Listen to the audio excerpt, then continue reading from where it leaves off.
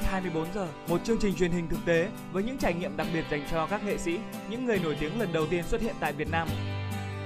Trước khi bắt đầu thử thách, không thể quên những vật dụng đồng hành cho chuyến hành trình, một sim điện thoại, một mũ bảo hiểm, một xe đạp Jingun Doberman Thermat để họ thêm tự tin và 50.000 đồng. Bằng chính sự nhạy cảm, óc hài hước và khả năng thích nghi, mỗi nghệ sĩ phải đi tìm địa điểm thử thách, sau đó hoàn thành thử thách trong thời gian được quy định. Đi không nổi nữa vì đau lưng quá Ôi xôi, khủng khiếp quá Đặc biệt hơn nữa, mỗi nghệ sĩ phải xin để được ở trọ qua đêm trong nhà một người dân và trải nghiệm cuộc sống mới lạ ở đó. Chị em muốn nhờ, nhờ chị giúp đỡ cho em ngủ qua đêm ở đây một đêm á Hãy cùng chờ đón những điều thú vị bất ngờ chỉ có trong chương trình Lữ khách 24 giờ. Ngay bây giờ mời khán giả gặp gỡ anh chàng thật dễ thương.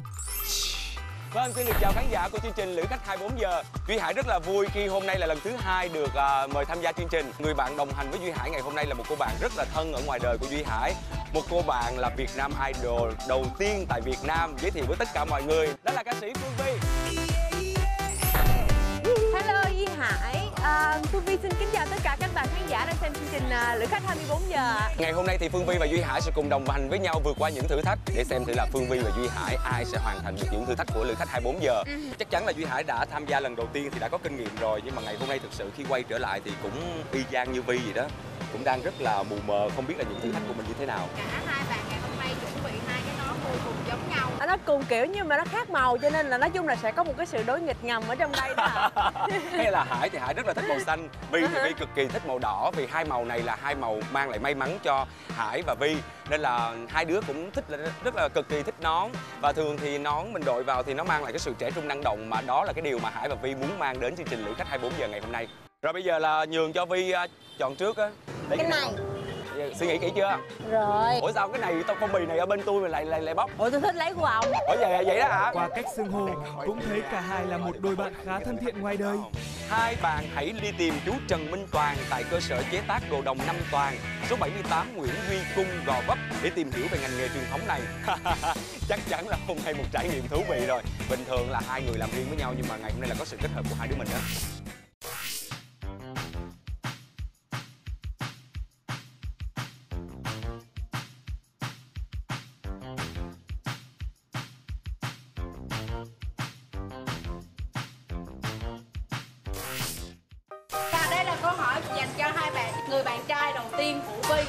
Gì Duy Hải hãy trả lời Người bạn trai của Vi đầu tiên là người Việt Nam ở ngoài Hà Nội.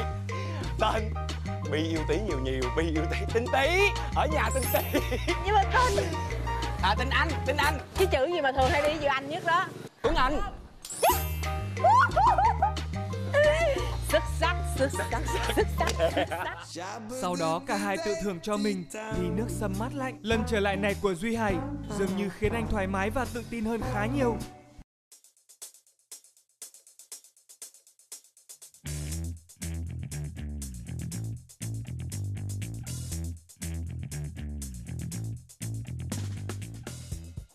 Đến chào lúc chú vào gặp chú Năm À, Toàn, người chuyên có làm các đồ Toàn đồng, một nghề cha truyền con dạ, nối. à, con đến từ chương trình Lữ khách 24 giờ. Cơ sở của mình là làm à, đồ đồng hả chú? À, làm đồ đạc làm nghề truyền thống Nghề truyền thống được bao nhiêu năm rồi chú ha? nó cũng phải là ba đời làm nghề truyền thống của bà để làm Dạ. À, Xưởng của mình ở đây luôn. à, xưởng xưởng của mình ở đây xưởng ở phía sau ở phía sau hả à, chú? đây là đây là cửa hàng để trưng bày ba mẹ Thường thì à, những cái mặt hàng này mình sản xuất ra rồi là mình à, chỉ phân phối ở trong nước hay là có đi nước ngoài không chú? trước mắt là mình phân phối trong nước Dạ. có một số việt kiều ta Dạ. thích cái nghề truyền thống người ta mua đi về bên đó là mua À. số lượng ít thôi nghề truyền thống này á, là cha truyền con nói thì nói chung là mình làm để là mình truyền lại cho con cho cháu mình sau này Dạ. mà nhưng nói chung là mình phải đam mê mới được chứ mình không đam mê thì sau này cái nghề của mình nó mất đi Dạ. thì chính vì con mình hiện nay nó đam mê nó truyền lại cho nó nó Tức là cái này là nó thành khuôn hết hay là mình phải làm từng từng cái tầng tay hết à? nó có khuôn mà nhưng mà phải làm bằng tay một cái thùng lư nó có 7 món nếu mà thành phẩm bộ lư thì nó có cộng thêm hai cái đèn Để làm ra một cái lư như là mình phải qua các công đoạn là làm 7 cái phần để mà gộp lại đúng không? Gộp lại. Là thành Mà một bộ lư. Hiện nay cái thùng lư nó có 7 món Bảy món. cộng thêm hai cái chân đèn nữa Dạ. nó là mới gọi là một cái bộ lư đầy đủ Dạ. mà nếu mà làm bên cái khuôn á thì nó từ cho từ đất từ xét là đánh lên bộ khuôn thì nó phải mất đi một tháng À. dạ. thì chú có thể dẫn tụi con ra sau cái xưởng để xem thì mọi người làm công đoạn à, tụi con tham quan thì chú dắt. dạ dạ cảm ơn chú cái khuôn nó có cái vỏ gì mà nó đắp đất vô đắp qua hai cái lớp đất là một lớp đất là lớp đất đen xong mới đắp một lớp đất chấu để nó chịu lại nó sẽ ra nó ra rồi đó. Đắp cái lớp đất này xong rồi mình phải để cho khô hả chú hả? Không không đắp luôn cái thằng lớp đất chấu đó kia À. tiếp tục lên cái nữa ủa chú cái cái lớp đất này mình có quy định là cái độ dày độ mỏng của nó như thế nào không chú? Không nó làm mà coi như là người thợ đã làm quen thợ này phải từ mười mấy mười mấy năm nghề trở lên. Không tại sao mình phải trộn cái lớp thứ hai là đất sét với trấu? Để mình chịu lực. À dạ. Chịu cái lực chịu cái lực cho mình đổ đồng vô không bung. Cái này là một lớp đất bên trong để chịu lại cái khuôn cho mai mốt mình đổ ra nó láng láng theo những cái đường qua văn của mình Dạ. Xong qua một cái lớp đất này nữa. Dạ. Để chịu lại cái lực cái khuôn nó sẽ khô đi. Dạ. Khô đi là mình sẽ đưa vô trong lò. Đem vô đây mình chất đầy một cái lò khuôn này là 100 bộ lư À mình đốt bên đây luôn đốt hả? đốt đốt tại đây luôn. Bên kia thì lò nấu đồng Ừ. hai cái nó phải hợp. Đốt khuôn này nó mất đi 4 tiếng đồng hồ nó mới chín cái khuôn bên kia nấu 4 tiếng đồng hồ đồng nó mới chạy. Bên đây nó móc ra nó để ở ngoài thằng đống kia vậy. Bên kia nó múc một cái gáo đồng dễ vậy. Với cái công việc này thì cái thu nhập của gia đình mình ổn không chú hả thì nói chung là mình à, chú cũng làm rồi à, vợ chú cũng làm dạ. con cũng làm. Tại vì mình yêu nghề mình chứ không phải là chỉ tay năm Ừ. chú cũng như như người người anh em Phải mình phải biết cái nghề. Bất cứ làm cái nghề gì mà không biết nghề đừng nên làm chủ. Dạ đúng rồi được giới thiệu tận tình quy trình để đúc đồng, cả hai không khỏi ngạc nhiên và thích thú khi được tham quan toàn bộ xưởng đúc.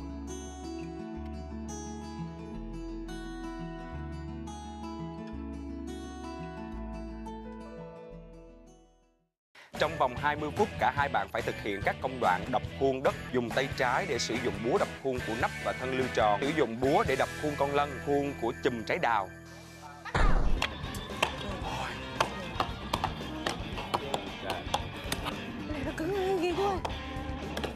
Man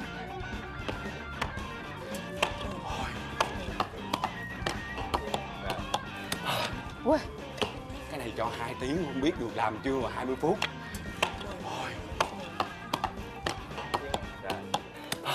Ôi, mệt quá giờ sao? Ăn Ai? lên đường Ăn xin gum đi cho có đường đúng rồi, nãy giờ tôi mệt quá. Dạ cũng mời chú bàn ạ. đây Dạ mời chú bàn. đây Phải tiếp sức chứ, chứ đâu có thể mà ngồi làm đầu tới cuối như vậy được. Tay dơ thôi, ăn dơ sống lâu. Được tiếp sức thêm bằng sinh gum dopamine, cả hai quay trở lại với thử thách và thực hiện thuần thục hơn.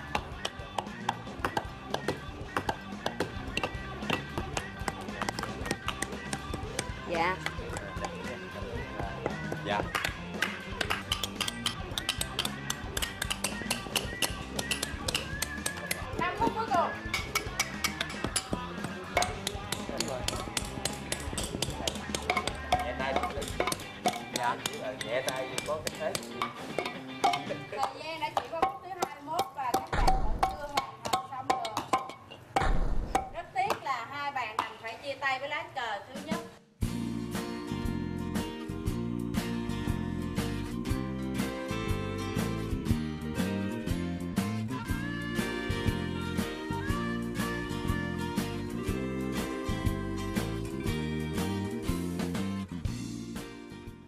20 phút ít quá à. Duy Hải bắt đầu lên tiếng chú, chú, về việc không hoàn thành trong thời gian quy định. Làm 5 phút mà làm bằng sức lực bình thường, dùng bằng tay là bằng những công đoạn bình thường thì đáng lẽ tụi con hả là bằng tay trái nè là phải cho tụi con thời gian nhiều. Đà đào, đà đào, đà đào. Chú chú Bình tụi con đi chú. Chúng tôi đồng ý cho phép các bạn thực hiện thêm một thử thách phụ Trước những ý kiến của cả hai và vẫn mong muốn phải giành được lá cờ đầu, Duy Hải và Phương Vi đã được chương trình cho thêm một đặc ân. đào này 15 phút rồi thợ cứ làm thời gian đó hai bạn sẽ cộng lại với nhau và chia đôi ra là hai bạn có 7 phút để đập được cái trái đào này ra thấy được lớp đồng 3 2 1 bắt đầu ra. Đó. Đập đây đập đây đập đây Không đập đây là trước đi xíu tụi đục. Đó đúng rồi. Đúng rồi. Rất sắc Rất sắc Rồi tới đó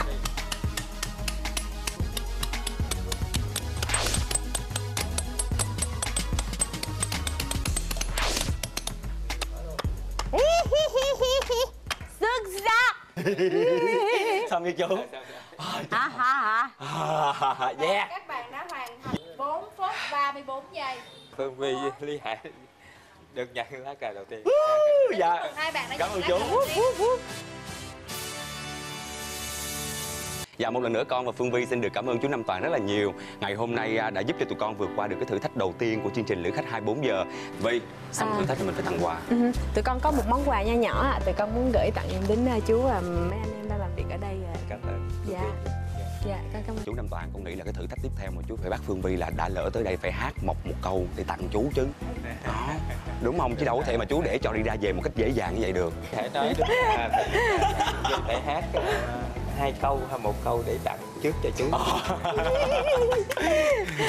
Niềm tin chiến thắng sẽ đưa ta đến bên bờ vui. Niềm tin chiến thắng nối con tim yêu thương mọi người. Thì đó thứ hai của mình là phải tới cơ sở sản xuất bếp lò của anh Trần Văn Tiếp tại cầu Rạch Cây, đường Võ Văn Kiệt, quận 8. Phải thực hiện các nhiệm vụ của chương trình đưa ra, ai hoàn thành trước sẽ nhận được cờ chiến thắng. Chia tay chú Nam Toàn, cả hai lại lên đường đến với thử thách thứ hai, ngay tại xưởng làm bếp than của anh Tiếp. Và với thử thách thứ hai này, cả hai sẽ trở thành đối thủ của nhau. Anh ơi cho em hỏi thăm là có anh Tiếp ở nhà không ạ? có à. Dạ. là anh làm tiếp mà Ờ, anh Tiếp à, em chào anh ạ À, à, là Duy Hải, còn đây là Phương Vi à, Hai tụi em đang tham gia Lữ khách 24 giờ Ngày hôm nay tụi em nhận được nhiệm vụ là đến đây để hoàn thành những cái thử thách tiếp theo Em với Phương Vi cũng muốn tìm hiểu những cái công đoạn để mình làm ra một cái à, bếp lò như thế này đó anh Dạ. Dạ anh Tiếp ơi, cái nguyên một cái khu đất này là xưởng của mình luôn hả anh Tiếp hả? Nếu mà Thí dụ, mưa như vậy thì à, mình dạ. có phải che chắn lại không bắt đầu phải che đó giờ được bắt đầu che lại À, dạ, dạ. Là mình làm những cái công đoạn ra như vậy rồi là mình phải phơi khô hả anh Tiếp hả? Làm xong rồi lấy phơi khô phơi Dạ. khô xong rồi nó chuyển ờ, vô là nung bắt đầu À, nung dạ. nung ra thành phẩm nung ra nó thành cái lò đỏ. Cái chấu này để mình nung á. Đốt đốt. À mình đốt mình À là cái mình đốt bằng à, Cậu. cái trấu này chứ không phải là là củi. Như- củi bây giờ mắc lắm. Củi thì mình có thể chậm được còn cái này là nó cháy thuốc dạ mình phải để chêm chêm lúc vô nào này. cũng có người canh hết. Dạ canh dạ. thuốc wow. ba mươi mấy tiếng hai ngày một À. đêm Hai ngày một đêm thì trong cái lò nung này mình à, được số lượng khoảng bao nhiêu cái lò anh? nó khoảng hơn một cái lớn nhỏ công nhân người ta đang xếp lò vô trong lò nung À. đó Ở bên đây là xếp xong rồi nè Dạ còn bên đó đang xếp đó anh nhìn thấy còn mấy cái lò khô nằm trên đó chưa có làm lại thấy không? mình có bao nhiêu cái cái, cái lò nung như vậy à hai lò nung Dạ. đây lò đây nè. à dạ chở vô thì nó như ra bên kia à dạ rồi mình xay nhuyễn cho nó nó hay là mình đã À, dạ. rồi đó. Dạ anh khi mà mình xay như vậy thì mình có trộn thêm cái hỗn hợp nào để mà Có. giữ cho cái đất sét nó chắc không ạ? có mình trộn với cái tro mà mình nung ra đó à dạ À, mình nung khi cái chấu mình đốt ra thì cái tro đen cái tro đen cái nó đen giống như này dạ đó tới đây là tới cái khâu người ta dùng cái khuôn đó dạ. Dạ. thân của cái lò Mình có sẵn cái khuôn là mình chỉ cần để đất sét vô trong là mình mở ra rồi mình phơi khô hả anh? lấy cái khuôn lên thôi rồi chờ hai ngày sau nó khô mình mới đem nó lên mới nắng À. ba cái đầu của táo Em thấy là mọi người làm á không có đo gì á ha. Giống như là làm quen tay xong rồi là mình cứ làm thôi. Ví dụ mình làm sai thì mình cũng có thể nắng mình làm lại. đâu có sai thợ thì đâu có sai Dạ. trăm cái lấy trăm cái không sai Đúng phóc vậy luôn thôi chỉ vậy trừ sai. khi trời mưa hay là chật tay rớt gì xuống bể thì đem ngâm đi ngâm mềm lại dạ bỏ vô xay lại ra lại làm lại Làm lại từ đầu. à dạ bữa này là bữa di động coi như mỗi lần phải lấy ra bây giờ xếp lại đó Dạ. vô đầy lò xong mình lại phải xếp xếp cửa lại đắp ngói lên chép rỉ rồi trên đó chép đầy hết Ủa phải xếp nằm ngổn ngang vậy đấy hả anh? Dạ. Để đất sau mỗi lần Kinh nghiệm ở thử thách đầu, Cả hai ghi nhớ và lặp lại kỹ càng quy trình làm bếp mà anh Tiếp vừa hướng dẫn. Sau khi đã lắng nghe đầy đủ và đây là nhiệm vụ đầu tiên trong thử thách thứ hai. Bạn phải hoàn thành công đoạn quay được một bếp lò theo đúng kỹ thuật. ba hai một bắt đầu Go.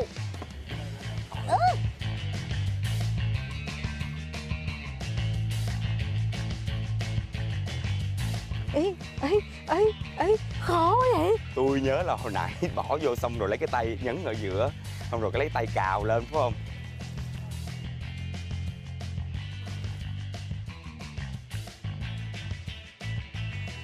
cái gì vậy trời nó dính cứng nhắc cả quyết đường mà. Và đây là kết quả dành cho anh chàng hấp tấp này.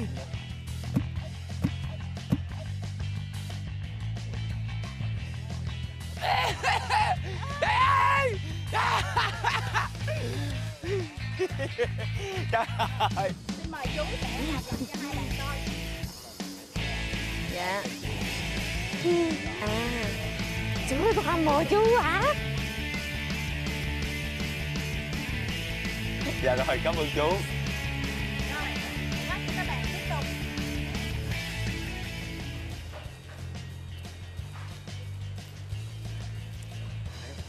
chú cái lò em như thế nào ạ? Làm thì ờ, có thành hình gì đó nhưng mà nó không có đều. Dạ. Cái này là đem về nhà xài luôn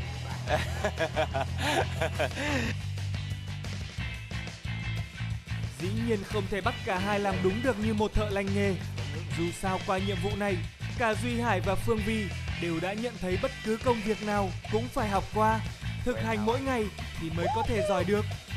Phương Vi đã thực hiện xong trước, cô nhanh chóng nhận được nhiệm vụ tiếp theo. với các nguyên vật liệu mà chương trình cung cấp bạn phải làm sạch một con cá và chiên chín con cá đó hả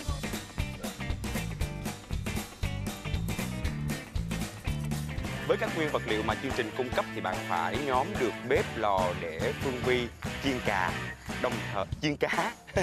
Đồng thời trong lúc Phương Vi chiên cá thì bạn phải hát những bài hát thể hiện rõ phong cách của năm ca sĩ khác nhau. Sau đó bạn phải dạy lại cho Phương Vi làm đúng phong cách của năm ca sĩ nói trên. Nếu bạn hoàn thành nhiệm vụ trước khi cá chín thì mới giành được cờ chiến thắng. Phương Vi đâu Duy? Hải dường như hồ hởi Vi thấy rõ. Cẩn thận nhé, nếu không bí mật của bạn sẽ bị lộ. chiên cá là cái gì? Hả à tôi phải nhóm được bếp hả? Chết rồi. Duy bà biết nhóm bếp không? Không. Qua bà nhóm bếp tôi, tôi, tôi, tôi, tôi cắt cá cho không bao giờ vô bếp. Tôi nhớ như phải có đổ dầu hôi lên phải không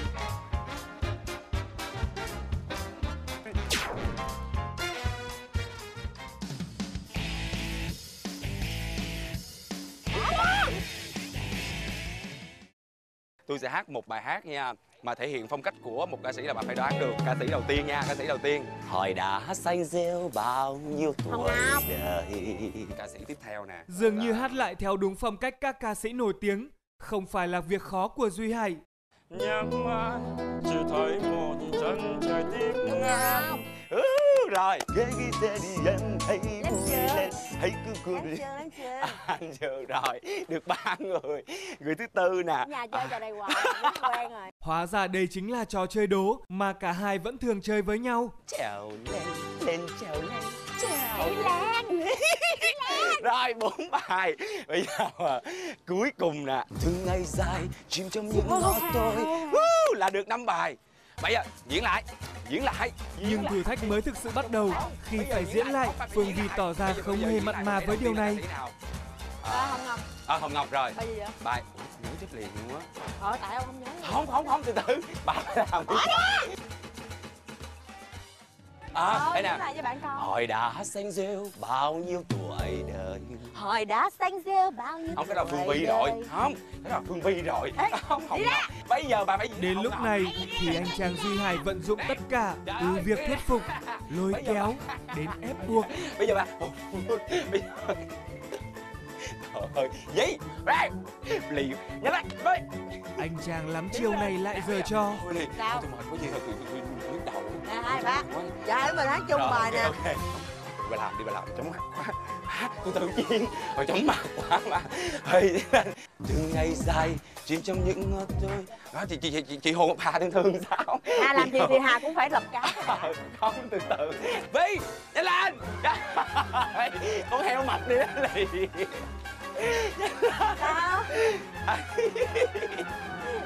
sao đâu rồi anh làm trường? Hai ba. Kiếp tiếng em đi hãy hãy vui lên hãy cứ vượt kỳ lên.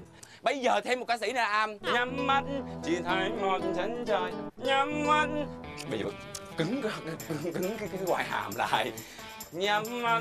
Nhắm mắt. Thôi. được. Rồi, bây giờ qua qua qua qua. Qua Ý Lan. Qua cô Ý Lan. Trào lên lên trào lên trèo lên không cái đó qua cô thấy thành rồi. Không không tôi muốn bà làm của ý lan nè. Của ý lan này gì? Rồi của ý lan đi. Trèo lên lên trèo lên trèo lên lên trèo lên trèo lên lên trèo lên Ủa mày trèo lên đâu vậy? Không biết đi đâu đi đi. Ôi trời. Ra cho ta cái cây kia mau. Bây giờ hát của Ý Lan đi tao trả ra cho ta. Hỏi cho Yên giờ Bà không nhớ tôi dạy bà hoài hả gì? Hả Bà phải biết giúp người bà phải thương người chứ. Đó con cá nó chưa có tính. Bây giờ Đừng. bây giờ ta đây. Đừng. Không bây giờ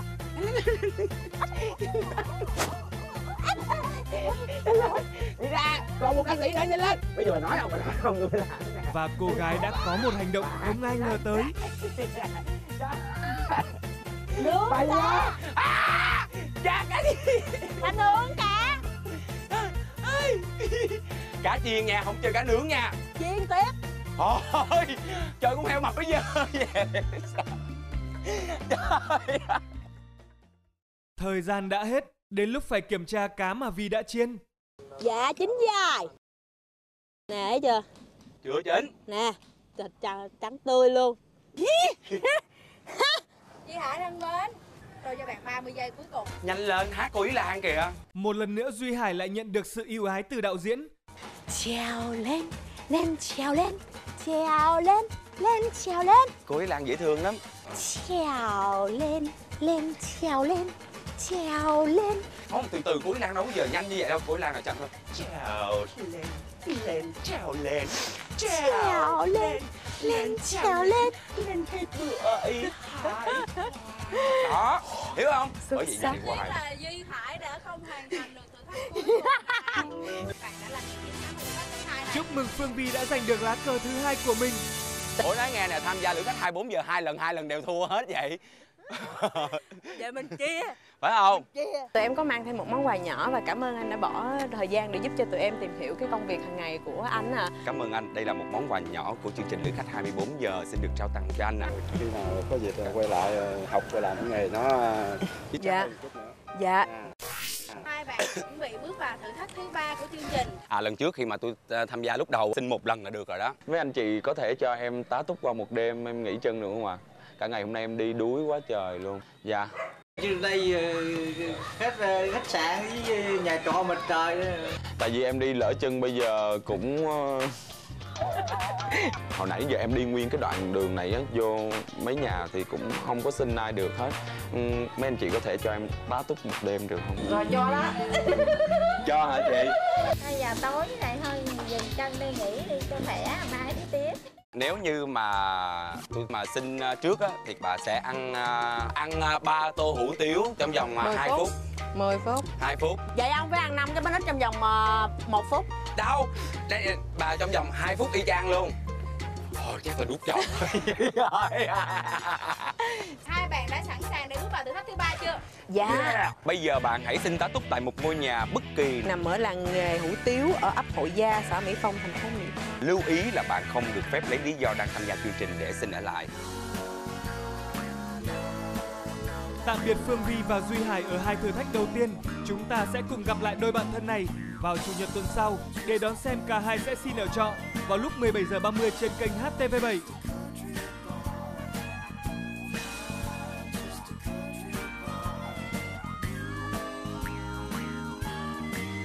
Chương trình do công ty MCV và Đài truyền hình Thành phố Hồ Chí Minh phối hợp thực hiện.